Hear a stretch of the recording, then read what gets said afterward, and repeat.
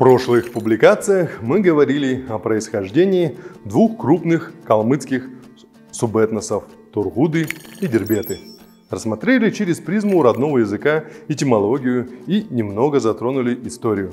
Сегодня мы познакомим вас с немногочисленными субэтносами – джунгарами, зюнгарами и хошудами.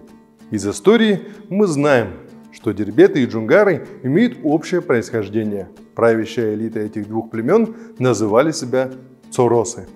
Историческая летопись Илитхел Шастыр повествует следующее. Предок дербетов Борнахл и предок Джунгар Исынты Дархан Найон являются родными братьями. От них двоих произошли джунгары и дербеты.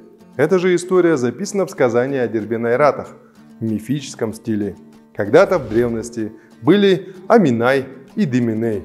Они кочевали в безлюдной стране, у каждого из них было по 10 сыновей.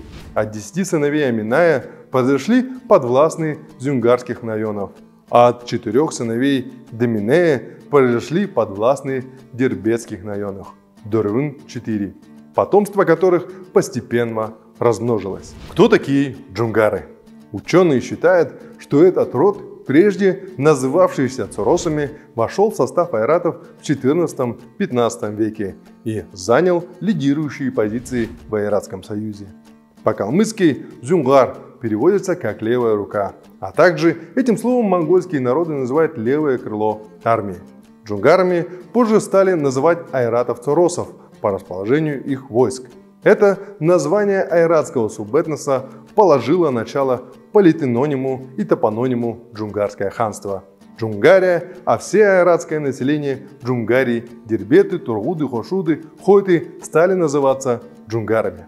Более того, даже окраинные тюркские народы, алтайцы, тувинцы, вошедшие в состав Джунгарии, стали также джунгарами.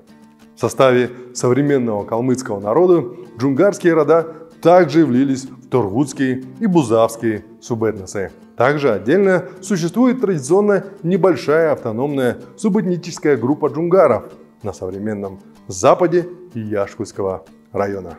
Помимо джунгаров, в Калмыкии также проживает небольшой субэтнос хошуды. Название хошуд является производным от слова хошун, одного из значений которого в монгольских языках острие, клюв, клин, морда, передовой отряд. Такое именование было дано гвардейскому подразделению войска Чингисхана и связано с его авангардными функциями или, возможно, с видом его построения – клином, мордой. То есть строй войска представлял собой острую колонну. При таком виде построения люди, стоявшие в голове, ее фактически шли на верную смерть. Хошут Название одного из подразделений гвардии Чингисхана, упоминание о котором связано с историей Монгольской империи. В 1203 году Чингисханом был создан корпус телохранителей Тургак Кишектенов, а в 1206 году он был дополнен подразделением Хошут. Это был седьмой особый полк, полк тысячи отборных богатырей. В ханской гвардии первоначально численностью в тысячу воинов – в гвардию Чингисхана набирали людей из числа покоренных племен, лиц видных по наружности, отличавшихся способностей и умом.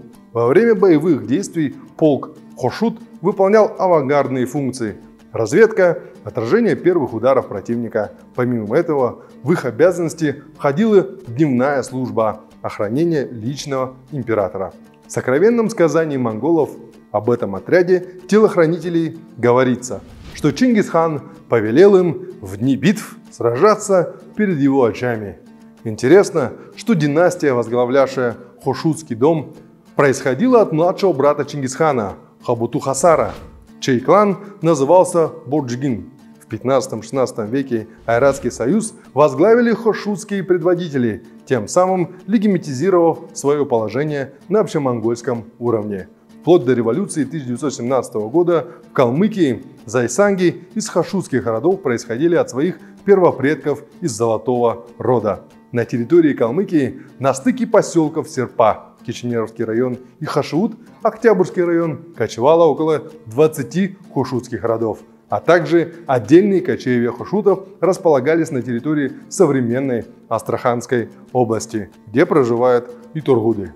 Джунгары и хошуты в Калмыкии небольшие субэтнические группы, которые не являются этнообразующими звеньями калмыцкого народа. Однако, несмотря на многочисленность, эти рода считаются самостоятельными субэтносами наряду с тургудами и дербетами. В следующей публикации мы расскажем вам о самом удивительном и молодом калмыцком субэтносе Бузалы. Также предлагаем нашим подписчикам оставлять комментарии под постами, о каких родах вы хотели бы почитать или увидеть на нашем канале и в наших публикациях. По просьбам наших подписчиков готовятся уже статьи по следующим родам. Багут, Эрктн, Керят, Цатн, Зöde. Из материалов Центра развития калмыцкого языка.